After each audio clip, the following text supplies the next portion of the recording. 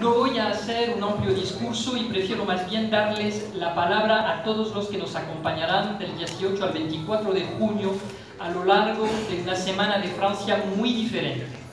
Solo quisiera destacar que hemos apostado por una semana más intensa, más nutrida, como siempre enteramente gratuita y al alcance de todos y bajo un tema que me parece esencial, Venezuela y Francia compartiendo cultura para nosotros, desde la Embajada de Francia, nos parece importante en esos momentos difíciles que la cultura sea una herramienta de diálogo, de entendimiento, de cercanía entre nuestros países y la oportunidad de manifestar que permanecemos nosotros franceses firmemente al lado de los venezolanos.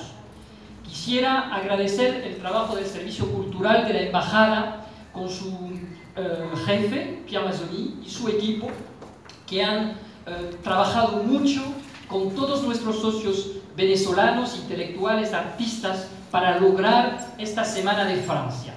Esta semana será más intensa con no solo 100, sino 140 actividades. Nada menos que 10 exposiciones en varios lugares de la ciudad.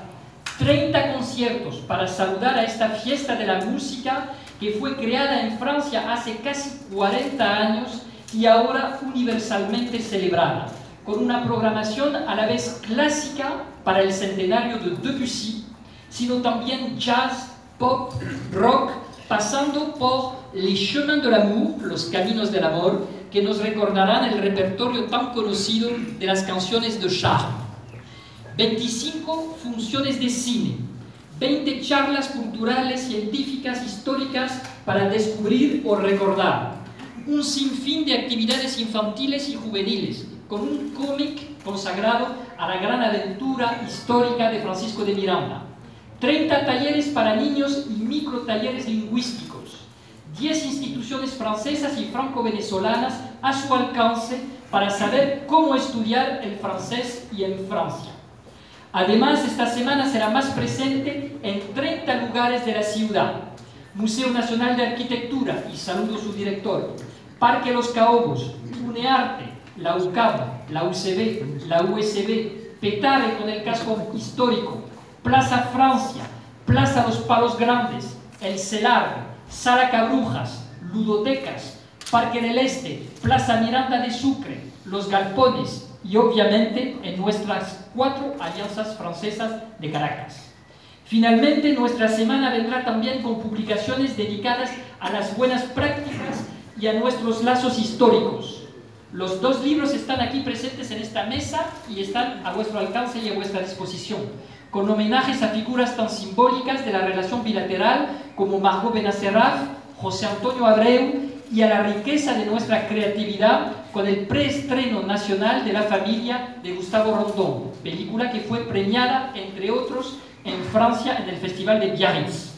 De igual manera, viene también con inéditos del sueño, hemos pedido especialmente por esta semana a algunas de las personalidades más destacadas de Venezuela relatar, cada uno en su especialidad, lo que fueron los grandes momentos de nuestros intercambios culturales.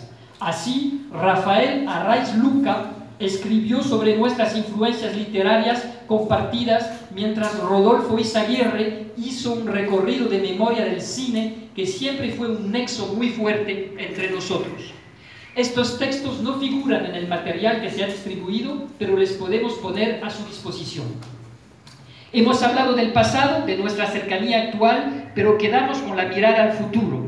Para la embajada, construir el futuro es descubrir, divulgar y promocionar talentos. Se acabó nuestro concurso Unidos por el Talento que tocaba cinco categorías, literatura, música, cómic, audiovisual y startup. Como siempre, numerosas y talentosas fueron las contribuciones, algunas estupendas. Con nosotros están algunos de los ganadores que merecen un fuerte aplauso por lo que es su primera presentación a la prensa. Lo ratifico una vez más, Venezuela es un país con muchos talentos y un país con talento es un país con futuro. No voy a acabar sin mencionar el mundial, el mundial de Fútbol que va a empezar dentro de dos días. Por supuesto, la Embajada de Francia va a incentivar el equipo nacional, que es uno de los equipos estrellas de este mundial. pero queremos a través de este Mundial de Fútbol, de fútbol difundir valores. Y hemos pedido a un padrino de excepción, un atleta venezolano paralímpico, César Campos, que nos apoye durante eh, ese torneo mundial de fútbol. Y vamos a organizar con él difusiones de partidos con eh, jóvenes venezolanos que él entrena eh, en particular en el velodromo cada fin de semana. Eh, nos alegramos, César, de contar contigo. Eres un atleta comprometido con la juventud de Venezuela por la inclusión social. El deporte no es únicamente el deporte que Umberto vemos en los medios de comunicación, Magazine del business. residenza Son valores, valores de solidaridad, de de esfuerzos, las que tú difundes todos los días